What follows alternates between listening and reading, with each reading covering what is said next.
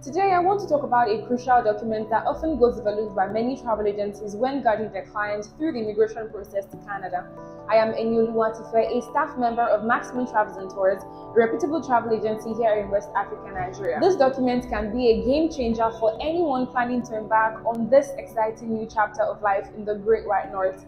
Yet, surprisingly, it's not always part of the conversation when people plan their immigration. In one of my previous videos, I shared some valuable insights about obtaining an international driver's license, but in this video, I'll be talking about driver's abstract and its importance. A driver's abstract, also known as driving record or driver's history, is a document that provides a detailed record of your driving history. It typically includes information such as your name, address, date of birth, driver's license number. It also includes driving violations like traffic tickets, demerit points, and any conviction or driving offenses. It would also, um, you know, contain details about any period when your driver's license was suspended or revoked. Also, information on any accident you were involved in while driving will be included in case there is any. As a Nigerian trying to migrate to Canada, you may be required to provide a driver's abstract as part of the application process, particularly if you plan to drive in Canada. Now, here are some of the situations when you might need a driver's abstract.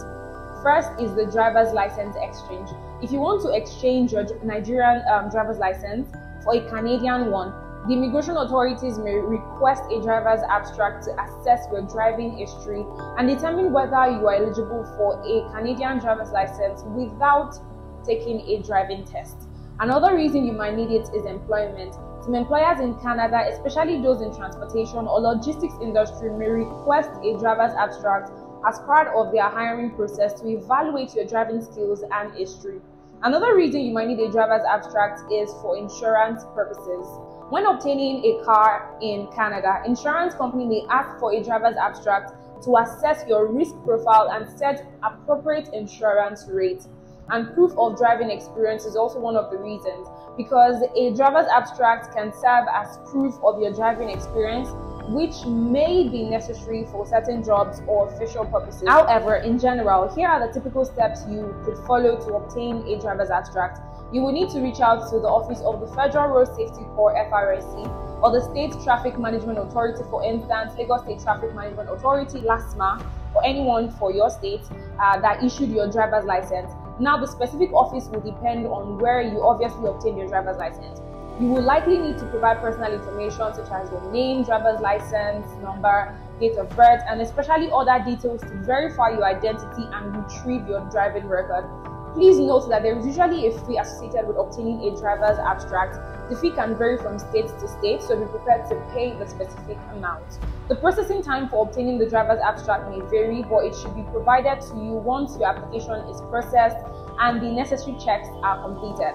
Once your application is approved, you will receive your driver's abstract.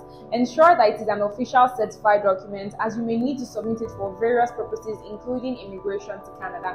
I hope you watched the video to the end because it is important to empower ourselves with knowledge and take a step forward in making our Canadian dream a reality. As one of your friendly guide here at Marksman Travels and Tours, we are committed to ensuring your journey is filled with excitement and success.